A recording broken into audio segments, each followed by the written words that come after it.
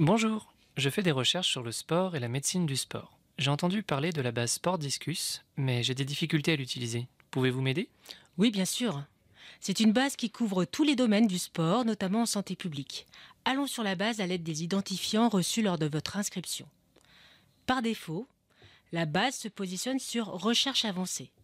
Pour débuter, positionnez-vous sur Recherche simple. Vous pouvez renseigner vos mots-clés dans la barre de recherche. Ma recherche porte sur les entorses et foulures. Je peux rechercher en français?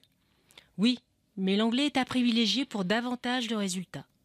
Regardez, si je tape entorse et foulure en français, je trouve 12 résultats.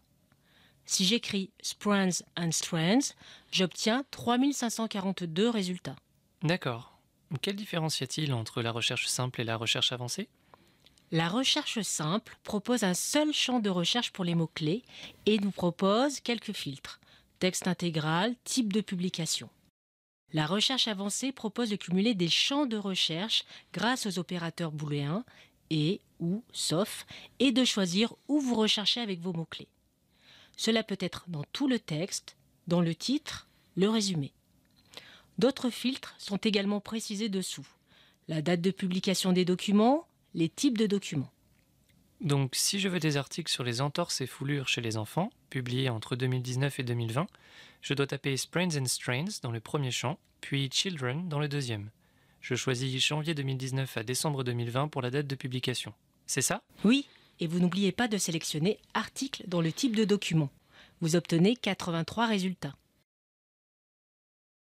Comment je peux savoir si les documents sont en version intégrale? Vous avez la précision sous la référence texte intégral en PDF et ou texte intégral en HTML. Et si je n'ai pas cette précision?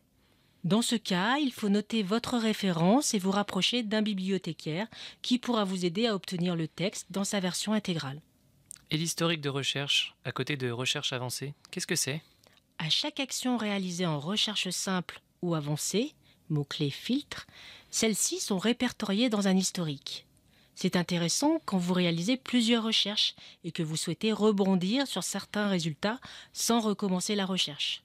Par exemple, vous pouvez reprendre une recherche associée à un nombre de résultats et à partir de celle-ci, ajouter des filtres ou des mots-clés.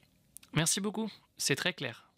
En cas de besoin, n'hésitez pas à vous rapprocher d'un bibliothécaire ou à consulter les autres vidéos de la chaîne Doc2Bib.